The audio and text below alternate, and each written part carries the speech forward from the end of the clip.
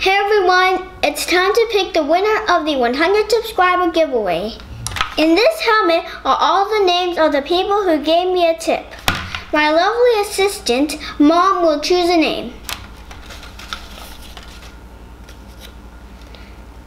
The winner is Backyard Shredder. Congratulations!